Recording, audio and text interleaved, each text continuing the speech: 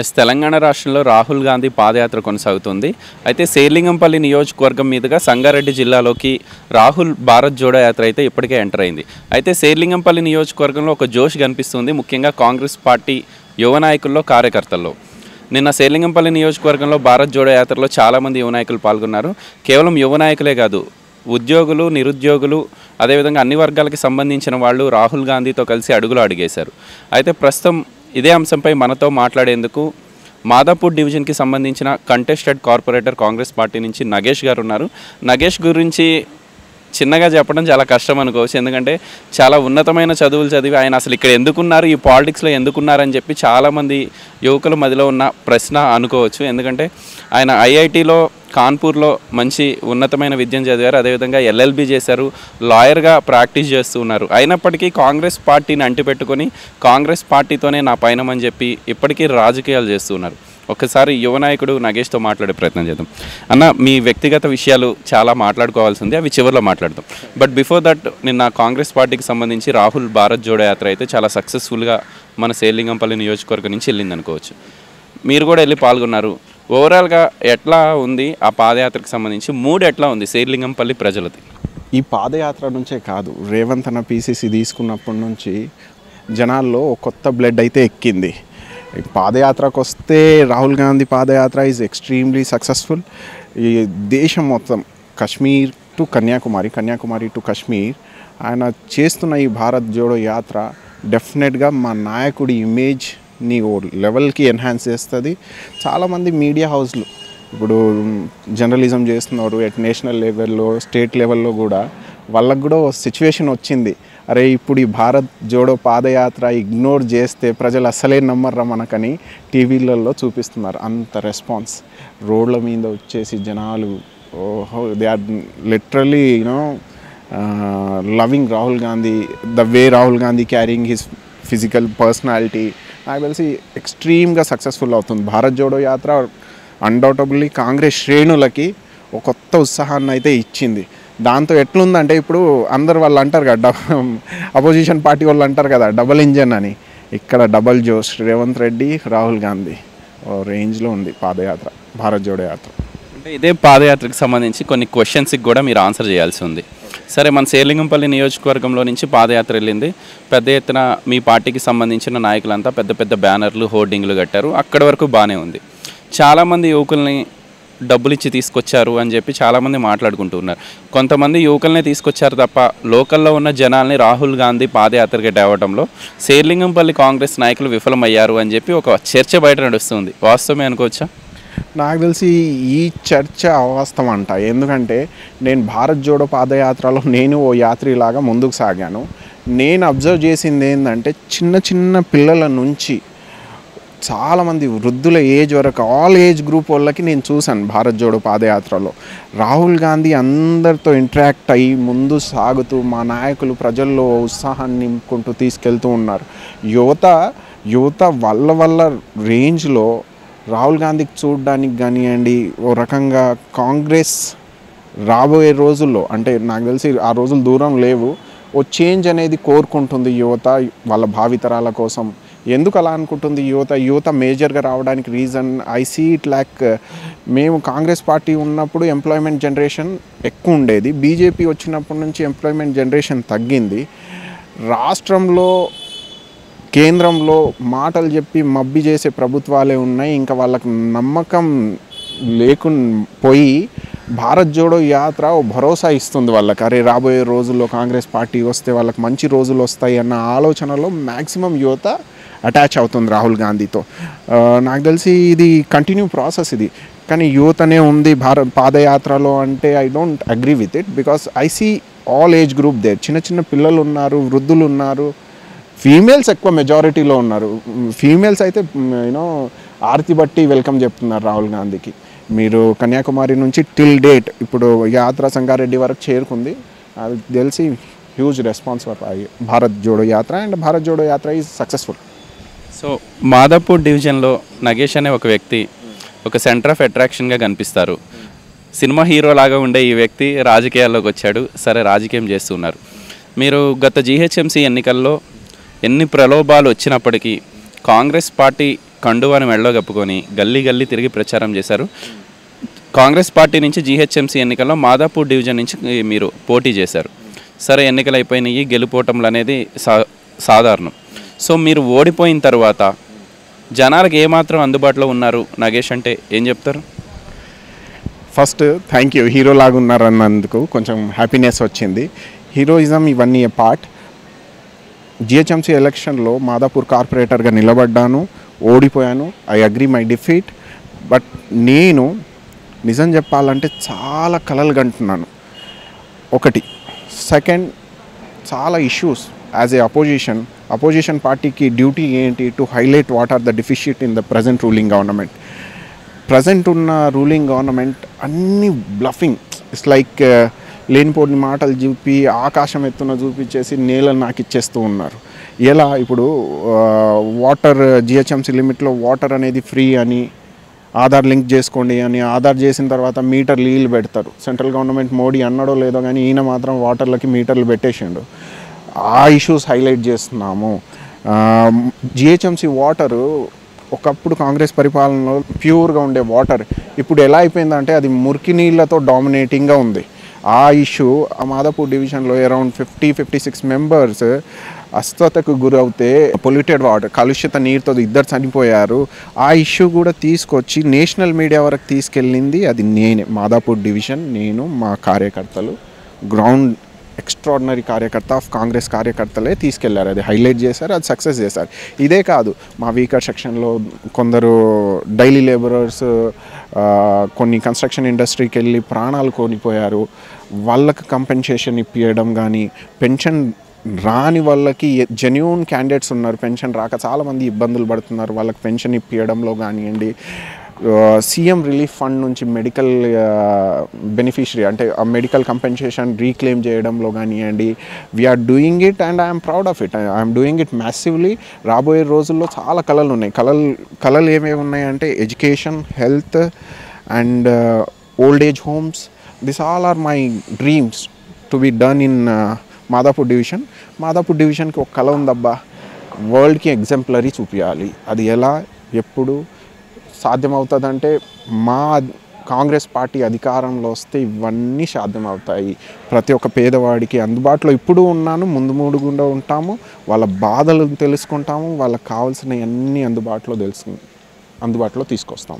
So dreams are there ahead so ఎవరు అవునన్నా కాదన్నా ఏదైతే మన మాదాపూర్ డివిజన్లో గతంలో జరిగిన ఘటన అది బయటకు తీసుకొచ్చింది కాంగ్రెస్ నాయకులు ఇక్కడ కార్యకర్తలు అనడంలో ఎటువంటి సందేహం లేదు. కలుషిత నీరు తాగి ఇద్దరు ముగ్గురు చనిపోయినట్టున్నారు పెద్ద ఎత్తున హాస్పిటల్లో చేరాల్సి వచ్చింది. ఈవెన్ గవర్నమెంట్ కూడా ముందుకొచ్చి కాంపన్సేషన్ వాళ్ళకి ఇచ్చే పరిస్థితులు తేవటంలో ప్రతిపక్ష నాయకులుగా మీరు సక్సెస్ సాధించారని అనుకోవచ్చు. ఇదంతా ఒక ఎత్తు అయితే కేవలం ఏదన్నా ఇష్యూలు జరిగినప్పుడు షోప్ టాప్ రాజకీయాలు చేయడం కోసం నగేష్ వాళ్ళ ఫ్యామిలీ మెంబర్స్ ముందుకు వస్తూ ఉన్నారు. నార్మల్ టైంలో వాళ్ళ బిజినెస్లు వీళ్ళు జనాలకు అందుబాటులో లేని వ్యక్తులు అని చెప్పి కొంతమంది బీజేపీ నాయకులు టీఆర్ఎస్ నాయకులు మీ మీద చేస్తున్న విమర్శలు అనుకోండి. ఏం చెప్తారు? సి అపోజిషన్ పార్టీ చెప్పేదే అది. రైట్ అది ఎప్పుడు చెప్తూనే ఉంటుంది. నేను అందుబాటులో ఉన్నానా లేదా నాకు తెలిసి స్టాటిస్టిక్ చూడాలి. ఈ last two two and half ఇయర్స్లో నేను ఎంతమందికి పెన్షన్లు ఇప్పించాను? ఏ ఏ ఇష్యూస్ టచ్ చేశాను? ఇప్పుడు వాటర్ పొల్యూషనే కాకుండా డైలీ వేజెస్ లేబరర్స్కి కంపెన్సేషన్ ఇప్పించడం కానివ్వండి uh, లేకపోతే అన్ఎంప్లాయ్మెంట్ ఉన్న వాళ్ళకి నేను ప్రైవేట్ ఆర్గనైజేషన్ సరౌండెడ్ బై ఆర్గనైజేషన్లో వాళ్ళకి ఎంప్లాయ్మెంట్ క్రియేట్ చేయడంలో కానివ్వండి uh, లెస్సే ఫీజులు ఎక్కువైపోయాయి. లాక్డౌన్లో ప్రైవేట్ స్కూళ్ళు ఫీజులు టూ మచ్ బాధేస్తున్నాయి అన్నప్పుడు వాళ్ళ దగ్గరికి వెళ్ళి రిక్వెస్ట్ చేసి చాలామందికి ఫీజులు తగ్గించి ఆర్ఎల్స్ జీరో కంపెనీ జీరో లెవెల్లో తీసుకొచ్చి వాళ్ళకి మళ్ళీ ఇంటేక్ అంటే మళ్ళీ అడ్మిషన్ చేయించాము వీఆర్ డూయింగ్ ఇట్ బట్ ఇప్పుడు opposition parties it's they duty to criticise other people whether they are good or rod so అది కామన్ దానికి పట్టించుకోవద్దు అది జస్ట్ ఇగ్నోరబుల్ సో మీ ఎలక్షన్ అయినప్పుడు నేను కూడా మీ ప్రచారాన్ని చూశాను. ఒక చదువుకున్న వ్యక్తిగా మీరు మీ నాన్నగారు అదేవిధంగా మీ తాతగారు ఇక్కడ ఎంతో కొంత సర్వీస్ చేశారు ఈ మాదాపూర్ చుట్టుపక్కల ప్రాంతాల్లో. సో మీరు చాలా చక్కగా యాక్టివ్గా ప్రచారం చేశారు. ఖచ్చితంగా గెలుపు అవకాశం ఉంటుందని చెప్పి చాలామంది కూడా అన్నారు. అయినప్పటికీ జనాలు కొంత మిమ్మల్ని కాదని చెప్పి టీఆర్ఎస్ పార్టీకి అధికారం ఇచ్చారు. సో అప్పుడు ఏమైనా బాధ వేసిందా ఓడిపోయినప్పుడు? అంటే మీరు ఒక యువకుడు ముందుకు వచ్చి ఇంటింటికి తిరిగి నాకు ఒక్క అవకాశం ఇవ్వండి అని చెప్పి మీరు ఎంతో ప్రాధాయపడ్డారు. మీకు అయ్యగలిగినంత వరకు మీరు చేశారు. పైగా మీ ఫ్యామిలీ మొదటి నుంచి జనాలకి సపోర్ట్గా ఉన్న ఫ్యామిలీ. సో అప్పుడు వ్యక్తిగతంగా ఏమైనా బాధ అనిపించింది? అంటే జనాలు ఏమైనా మార్పు రావాల్సిన అవసరం ఉందా వాళ్ళ థింకింగ్లో? బాధ ఏం అనిపించలేదు నేను ఎలక్షన్ అయిపోయిన తర్వాత రిజల్ట్ చూశాను ఓడిపోయింది. నేను కైండ్ ఆఫ్ వే ఆఫ్ లివింగ్లో ఉంటాను. ఫేత్ గాట్ అకంప్లిష్డ్ అయిపోయింది. నెక్స్ట్ వాట్ నెక్స్ట్ వాట్ నేను నెక్స్ట్ ఆలోచించింది ఏంటంటే అవును ప్రజలు మనకు వద్దు అనుకున్నారు అప్పుడే మనం ఓడిపోయాము. కానీ ప్రజలు మనకు కావాలి నేను కావాలి కాంగ్రెస్ పార్టీ కావాలి మాదాపూర్ డివిజన్లో కాంగ్రెస్ పార్టీ మళ్ళీ రూలింగ్ రావాలి అని కోరుకోవాలి. అది ఎలా జరుగుతుంది? అది ఎలా సాధ్యమవుతుంది? వన్ నేను ఆపరేట్ అయ్యే విధానం మీద నిర్ణయం అది ఆధారపడి ఉంటుంది. నేను ఎంతవరకు ప్రజలకి అందుబాటులో ఉంటాను నేను ఎంతవరకు ప్రజల పక్షాన మాట్లాడతాను నేను ఎంతవరకు ప్రజలకు ఉపయోగపడే పనులు చేస్తాను ఇవన్నీ చేసినప్పుడే ప్రజలు నాకు మళ్ళీ యూనో కాంగ్రెస్ పార్టీకి మళ్ళీ రూలింగ్లో తీసుకురావాలన్న ఆలోచనలు వాళ్ళకి కల్పిస్తాయి. సో నాకు తెలిసి నాకు తెలిసి ఇచ్చే opportunity. God game me opportunity. దట్కి చాలా మంచి నా మాదాపూర్ డివిజన్ని ఈసారి ఏం చేస్తానంటే హృదయాల్ని కలిగిస్తాను అంటే ఎట్లా అంటే కాంగ్రెస్ పార్టీ లేకపోతే వేరేది ఉండొద్దు ఈడ అన్నట్టు పనిచేయాలని ఉంది. Just a opportunity I feel blessed ఇంకా డ్యూటీస్ స్టిల్ ఆన్ ముందు ముందు చూస్తారు కదా. సో మీరైతే మీ డివిజన్లో యాక్టివ్గా పనిచేస్తున్నారు. బాగానే ఉంది. సరే రాహుల్ గాంధీ వచ్చాడని పెద్ద పెద్ద బ్యానర్లు సేలింగంపల్లి నియోజకవర్గంలో అరే కాంగ్రెస్ ఉందా? అనే విధంగా పెద్ద పెద్ద బ్యానర్లు కూడా కనిపించినాయి. ఇది నా ప్రశ్న కాదన్నా నేను చెప్తున్న మాట కాదు. టీఆర్ఎస్ పార్టీకి సంబంధించిన వాళ్ళు కానివ్వండి బీజేపీ వాళ్ళు పదే పదే మీ మీద చేస్తున్న ఆరోపణ. అసలు ఈ సేలింగంపల్లి నియోజకవర్గంలో కాంగ్రెస్ ఎక్కడుంది? కాంగ్రెస్ పార్టీకి సంబంధించి పలానా అభ్యర్థి ఎమ్మెల్యే క్యాండిడేట్ అని చెప్పుకోగలిగే స్థాయి ఉన్న వాళ్ళు ఎవరున్నారని చెప్పి వాళ్ళు అడుగుతూ ఉన్నారు. చాలా రిపోర్ట్స్ అట్లానే వస్తూ ఉన్నాయి. నిజంగానే శేలింగంపల్లి నియోజకవర్గంలో కాంగ్రెస్ లేదా? షేరిలింగంపల్లి నియోజకవర్గంలో కాంగ్రెస్ ఉంది ఇంకా ముందు ముందు ఉంటుంది. హండ్రెడ్ పర్సెంట్ కాంగ్రెస్ ఉంది. లీడర్స్ షేరిలింగంపల్లి లెవెల్లో ఓ ఎమ్మెల్యే లెవెల్లో లీడర్స్ కావాలి వస్తారు ఉన్నారు అండ్ వర్క్ చేస్తూ ఉన్నారు. ఇప్పుడు అపోజిషన్ పార్టీ ఏమవుతుందంటే అదేదో అంటారుగా చీలుడితో భేసుడి. చిన్నదానికి ఏదో పెద్దగా అరే ఇది పెద్ద ప్రాబ్లం అని చూపించుకోవడం వీళ్ళకి అలవాటు అయిపోయింది ఇది ప్రజలు కూడా నమ్మరు దానికి నాకు తెలిసి. కాంగ్రెస్ పార్టీ నాకు తెలిసి వీళ్ళు ఎక్కడుంది ఎక్కడుంది అంటూ ఉంటారు అపోజిషన్ పార్టీ వాళ్ళకి. నేను ఇప్పుడు చెప్తున్నా కాంగ్రెస్ పార్టీ ప్రజల మనసుల్లో ఉంది. డెఫినెట్గా మేము వస్తాము కాంగ్రెస్ నాయకుల్లాగా వస్తాము వాళ్ళకి కదిలిస్తాము మళ్ళీ మీకు చూపిస్తాము అధికారంలో. వచ్చి మరీ చూపిస్తాం. రేవంత్ రెడ్డి అన్నగారి హయాంలోనే చూపిస్తాం అది. సరే చాలా డిఫికల్ట్గా చాలా తెలివిగా సమాధానం చెప్తున్నారు నా ప్రశ్నలకి. ఇదే నియోజకవర్గంలో మీలాంటి యువకులు యాక్టివ్గా ఉన్నారు కొన్ని డివిజన్లో మీరు ఏదన్నా ఒక కార్యక్రమం తీసుకుంటే మిమ్మల్ని ఎంకరేజ్ చేసే పరిస్థితులు ఇప్పుడు ఎవరైతే మేము ఎమ్మెల్యే అభ్యర్థులు అని చెప్పుకుంటూ ఉన్నారో వాళ్ళు ముందుకు రాని పరిస్థితులు ఉన్నాయని కూడా చాలామంది మీ కాంగ్రెస్ పార్టీ కార్యకర్తలే మా దగ్గరకు వచ్చి చెప్తున్నారు ఆఫ్ ద రికార్డ్. నిజంగానే ఆ పరిస్థితులు ఉన్నాయా? మేము ఎమ్మెల్యే క్యాండిడేట్లమని ఒక నలుగురు ఐదుగురు చెప్పుకుంటూ ఉన్నారు. వాళ్ళు నిజంగానే మీలాంటి కార్యకర్తలకి మీలాంటి లీడర్లకి సపోర్ట్ ఇవ్వట్లేదా డివిజన్లలో?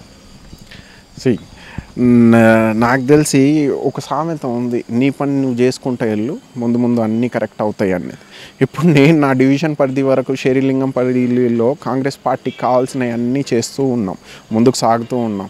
లీడర్లు వస్తారు వస్తున్నారు మాతో డిస్కషన్స్ జరుగుతున్నాయి సమయం సందర్భం ఉంటుంది దానికి కూడా. ఆ లీడర్షిప్ ఎప్పుడు రీచ్ అవ్వాలో అప్పుడు డెఫినెట్గా వచ్చేస్తుంది. నాకు తెలిసి కొంచెం ఆ, షేరిలింగంపల్లిలో ఒకటి ఉంది కదా అబద్ధపు ప్రచారం. మరి కాంగ్రెస్ పార్టీ ఎక్కడ ఉందని. కాంగ్రెస్ పార్టీ అయితే ప్రజల మ- ఇందాక చెప్పాను కదా ప్రజల మనసుల్లో ఉందని. షేరిలింగంపల్లి నుంచి పి. జనార్దన్ రెడ్డి గారిని ఇచ్చాము. పి. జనార్దన్ రెడ్డికే పగ్గాలు ఇచ్చాము కాంగ్రెస్ నుంచి. సేమ్ రిపీట్ అవుతుంది చూడండి. కంటిన్యూస్గా రేవంత్ రెడ్డి నా హయాంలో నాకు తెలిసి down the line twenty years Congress పార్టీయే ఉంటుంది షేరిలింగంపల్లిలో. వేరే పార్టీలు ఉండవు. ఇది రాసి పెట్టుకోండి మార్క్ మై వర్డ్స్ అండ్ ఎవరైతే నేను ఇందాక చెప్పినట్టు కొంతమంది మేము ఎమ్మెల్యే క్యాండిడేట్లు అని చెప్పుకుంటూ ఉన్నారో సరే తప్పులేదు వాళ్ళు బలమైన కార్యకర్తలుగా మేము ఎమ్మెల్యే కావాలని కోరుకోవడంలో తప్పులేదు అలాంటి లీడర్ల ఆలోచన తీరులో మార్పు రావాల్సిన అవసరం ఉంది. శేర్లింగంపల్లి కాంగ్రెస్లో అని కూడా. చాలామంది కార్యకర్తలు బయటకు చెప్పలేకపోయినా మీ మనసులో కూడా కొన్ని ఉండి ఉంటే మీరు ఎందుకు బయటకు చెప్పట్లేదని నాకు అనిపిస్తుంది. నాయకుల ఆలోచనలో మార్పు రావాల్సిన అవసరం లేదా నిజంగా శేర్లింగంపల్లి కాంగ్రెస్లో? షేరిలింగంపల్లి కాంగ్రెస్లోనే కాదు ఇది. ఇది నాకు తెలిసి ప్రతి ఒక్క పార్టీలో ప్రతి రాష్ట్రం లెవెల్లో చాలామంది నాయకులకు ఆలోచనలు మార్పు అనేది రావాలి. పర్టికులర్లీ షేరిలింగంపల్లిని చూడొద్దు అట్లా. ఇప్పుడు ఎవరైతే ఎమ్మెల్యే క్యాండిడేట్కి ఆస్పైరింగ్ ఉన్నారో చాలామంది ఉన్నారు వాళ్ళు నాకు తెలిసి నువ్వు నువ్వు అడిగే క్వశ్చన్ ఎలా ఉండాలంటే ఎప్పుడు ఇంకెప్పుడు తొందరగా వచ్చి ప్రజల్లోకి ఎప్పుడు వెళ్తారు? అది మీ ప్రశ్న అనుకుంటున్నా నేను. నాకు తెలిసి దానికి కూడా సమయం ఉంటుంది. ఇప్పుడు భారత్ జోడో పాదయాత్రతో మా రెస్పెక్టెడ్ పీసీసీ చాలా ఆక్యుపైడ్ ఉన్నాడు. నాకు కొన్ని రాబోయే రోజుల్లో కొన్ని రోజుల్లో మంచి లీడర్ షెరిలింగంపల్లిలో నిలబడతాడు. మళ్ళీ కాంగ్రెస్ క్యాడర్ని ఐక్యం చేసుకుంటాడు. నాకు తెలిసి అధికారంలో వచ్చేది మేమే అని భావిస్తూ ముందుకు సాగుతున్నాం. సో ఇక ఇవన్నీ మీ వ్యక్తిగత విషయాలు అనుకోండి. ఎందుకు అసలు ఈ రాజకీయాల్లో మీరు ఎట్లా ఉన్నారో నాకు ఇప్పటికీ అర్థం కావట్లేదు. ఎందుకంటే ఒక మంచి ఏజ్ ఉంది చాలా ఉన్నతమైన చదువులు చదివారు. ఐఐటి కాన్పూర్లో మీరు విద్యను పూర్తి చేశారు ఎల్ఎల్బి చేశారు. లాయర్గా పర్ అవర్ ల్యాక్స్లో తీసుకునే స్టేజ్ ఉన్న మీరు ఈ కాంగ్రెస్ పార్టీని పట్టుకొని ఈ రాజకీయాలంటూ మాదాపూర్ డివిజన్లో గల్లీ గల్లీకి ఇంటింటికి ఎందుకు తిరుగుతూ ఉన్నారు? అసలు ఏంటి మీ ఉద్దేశం ఏంటి అనేది మీ మీ అంబిషన్ ఏంటి? ఒకటి కాంగ్రెస్ పార్టీ నా భుజాల మీద కొన్ని బాధ్యతలు వేసింది. ఎందుకు వేసిందంటే నాకు తెలిసి మాదాపూర్ డివిజన్లో ఓ మంచి మనిషి ఉండాలి ప్రజల పక్షాన మాట్లాడాలి ప్రజలకు అవసరం ఏదైతే ఉందో అదే పనులు చేసుకుంటూ ముందుకు సాగుతూ పార్టీకి సేవ చేసే చేస్తూ పార్టీ రూపంలో ఎదుగుతూ ఉండాలన్న ఆలోచనల్లో నాకు పెట్టిర్రు. ఇప్పుడు నా డ్యూటీ మీరు అంటున్నారు చదువుకున్న వాళ్ళు అంత చేసిన వాళ్ళు అని మీరే అంటున్నారు. నాకు తెలిసి నా చదువుకు ఎప్పుడు విలువని ఇంతకుముందు చెప్పినట్టు నేను నా చదువుకు అప్పుడే విలువగా నేను ఏ పేదోడిని ఇంట్లో దీపం పెట్టినప్పుడు ఇల్లు లేనోనికి ఇల్లు ఇచ్చినప్పుడు విద్య లేనోనికి విద్య ఇచ్చినప్పుడు రైట్ నా నా నేను ఒకవేళ లీడర్షిప్ అంటే కాంగ్రెస్ పార్టీ లీడర్షిప్లో నాకు ఇట్స్ ఏ ఆపర్చునిటీ దట్ కి to welfare oriented scheme in ఇన్ని రోజులు నేను పుస్తకాల్లోనే చదువుకున్నాను. కాన్స్టిట్యూషనల్ వాల్యూస్ అంటారు ఇవన్నిటిని. నేను చాలా గొప్పగా ఫీల్ అయ్యాను అవన్నీ చదువుతున్నప్పుడు. నాకు తెలిసి I got a opportunity to serve people హానెస్ట్గా నాకు నేను సర్వ్ టు సర్వ్ పీపుల్ అన్న ఇంటెన్షన్లోనే పనిచేయాలనుకుంటున్నాను రా let's time will justify no ముందు ముందు మీరే చూస్తారు కదా? ప్రజలు కూడా చూస్తారు. అంటే నా ఉద్దేశం చదువుకున్న వాళ్ళు రాజకీయాలు చేయొద్దని కాదు.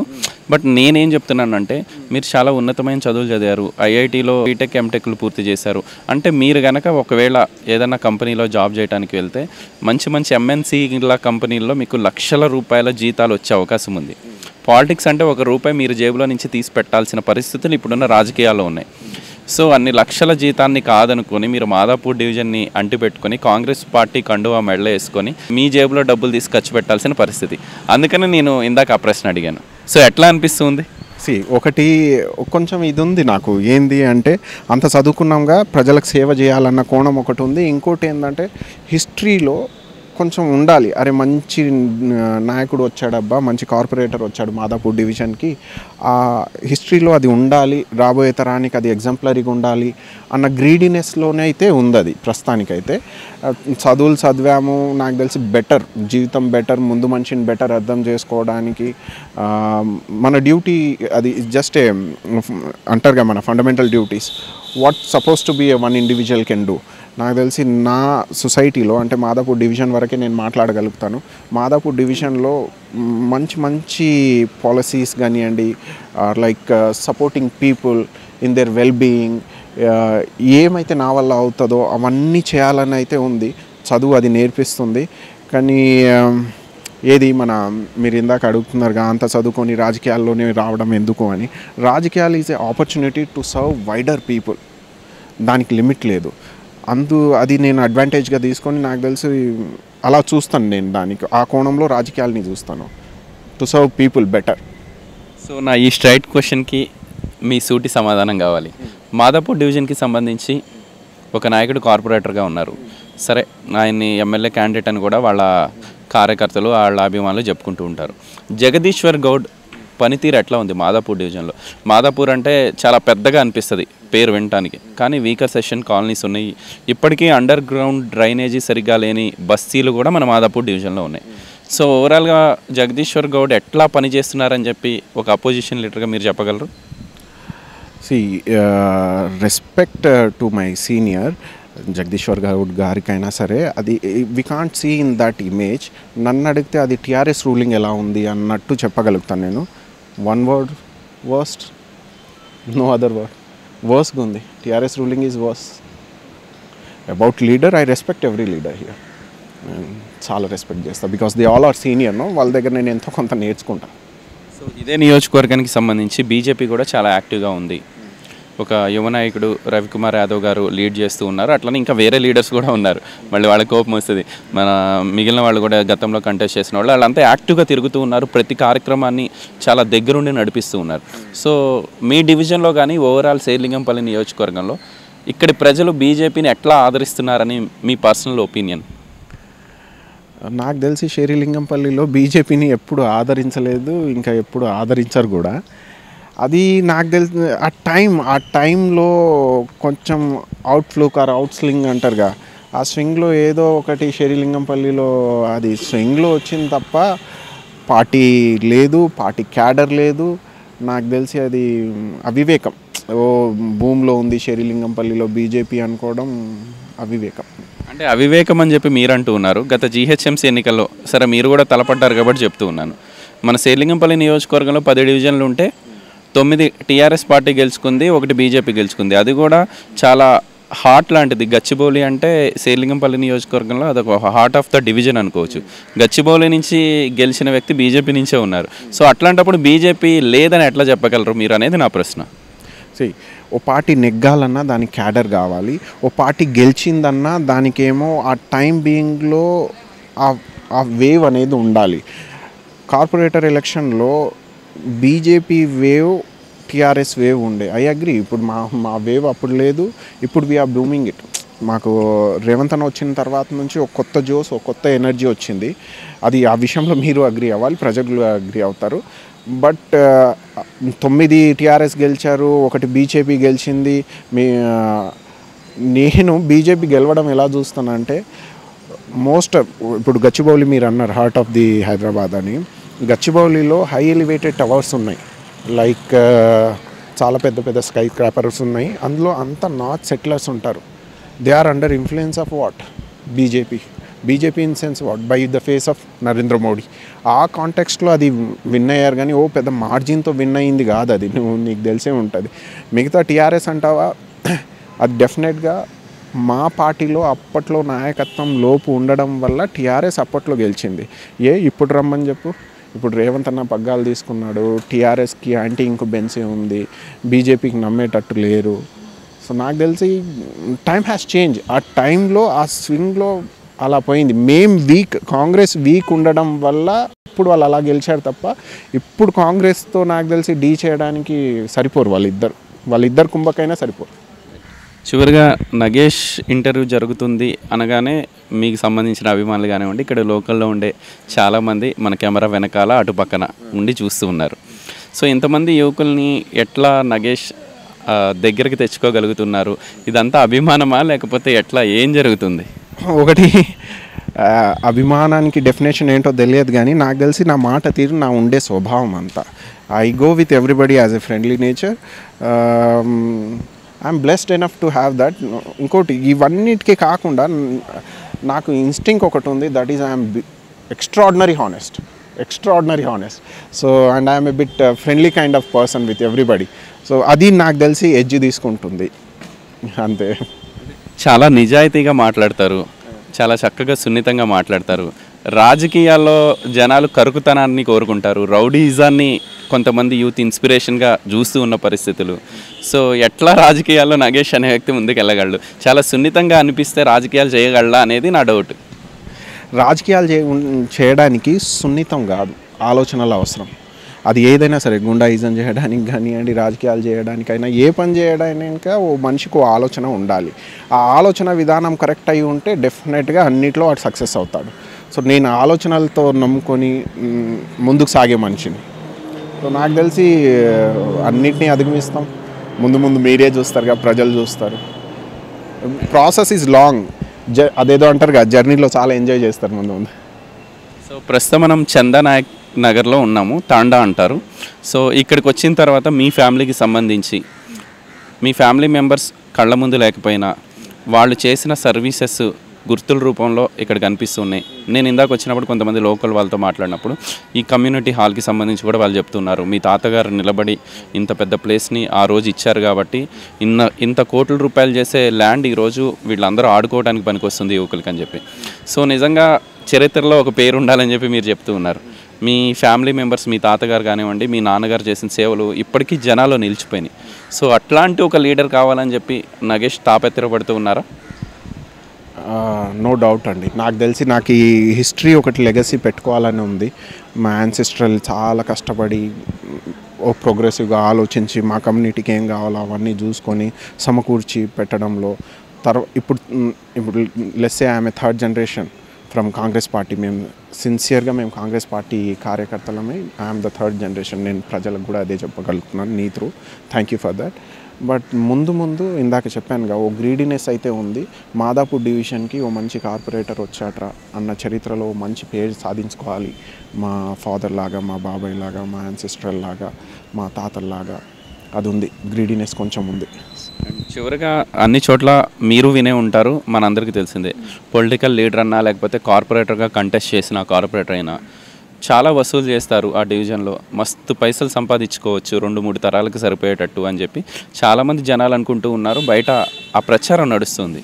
అంటే మీ ఉద్దేశం ఏంటి? నిజంగా సర్వీస్ చేయాలన్నా లేకపోతే ఏదన్నా ఆస్తులు కూడబెట్టాలన్న తపనతో నగేష్ అనే వ్యక్తి కూడా రాజకీయాల్లోకి వచ్చాడు? అబ్సల్యూట్లీ నో ఆస్తులు చేసుకోవాలని అయితే రాలేదు. ఎందుకంటే నాకు ఉండడానికి ఇల్లు నా కొడుకు కావాల్సిన ఎంత వాడి కొడుకు కావాల్సిందంతా మా నాన్నే ఇచ్చిండు నాకు. నేను ఆలోచనలు ఏంటంటే ఓ ఇల్లు లేనోనికి ఇల్లు ఇవ్వాలి ఓ మంచి జీవితం లేనోనికి మంచి జీవితం. అంటే నా మాదాపూర్ డివిజన్ పరిధి వరకు చెప్పాలంటే ఇప్పుడు హైటెక్ సిటీ అంటే అందరు అనుకుంటారు అద్దాల మేడ అని.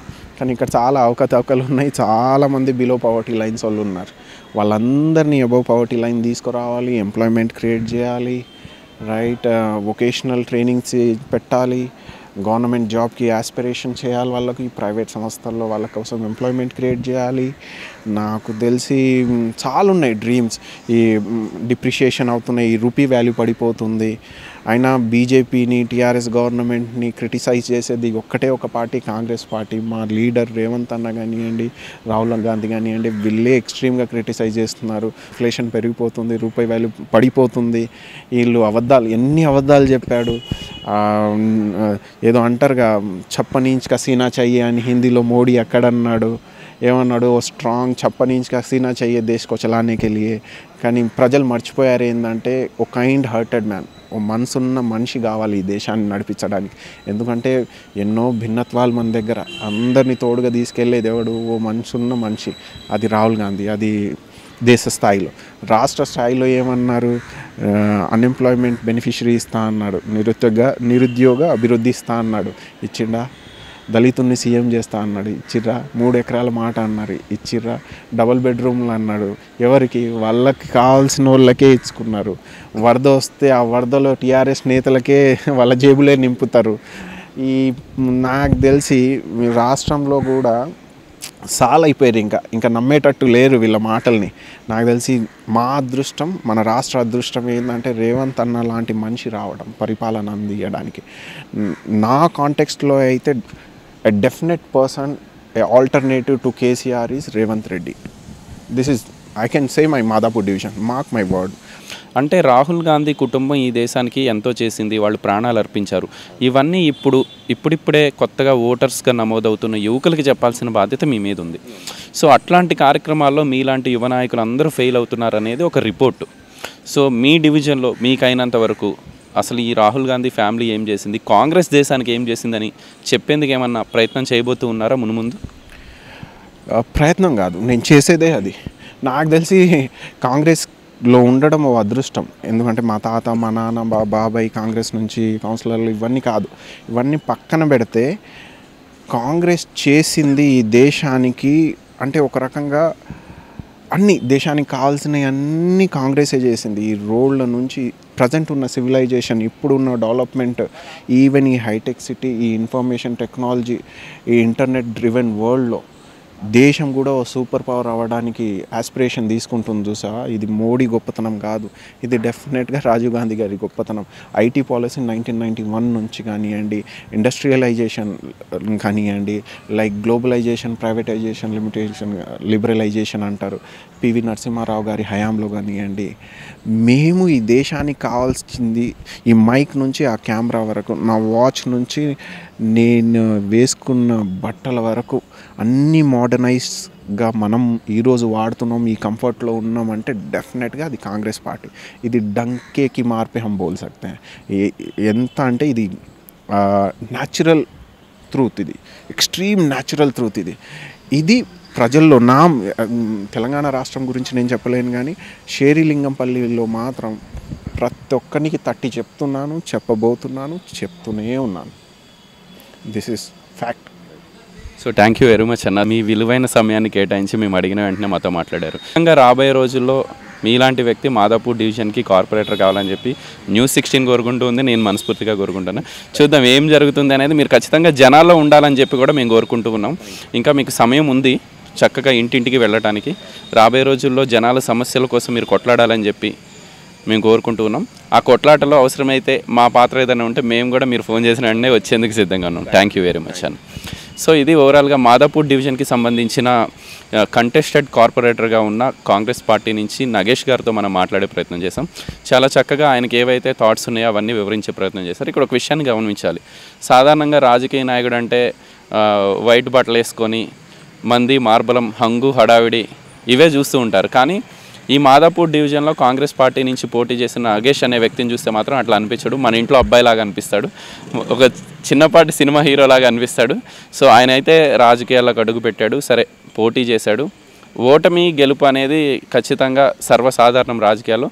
నేను ఓడిపోయినప్పటికీ జనాలతోనే ఉన్నాను ఇప్పటికీ. రాబోయే రోజుల్లో జనాల కోసం కొట్లాడేందుకు సిద్ధంగా ఉన్నానని చెప్పి నగేష్ చెప్తూ ఉన్నారు. ముఖ్యంగా రాహుల్ గాంధీ పాదయాత్ర తర్వాత శేర్లింగంపల్లి నియోజకవర్గంలోనే కాదు తెలంగాణ రాష్ట్రంలోనే కాంగ్రెస్ పార్టీ యువకుల్లో జోష్ వచ్చింది. రాబోయే రోజుల్లో కాంగ్రెస్ పార్టీ ఈ రాష్ట్రంలో అధికారం చేపట్టబోతుంది అని చెప్పి నగేష్ చాలా స్పష్టంగా గంటపదంగా చెప్తూ ఉన్నాడు. వీడియో జర్నలిస్ట్ సంజీతో గోపికృష్ణ న్యూస్ సిక్స్టీన్ శేర్లింగంపల్లి నియోజకవర్గం నుంచి.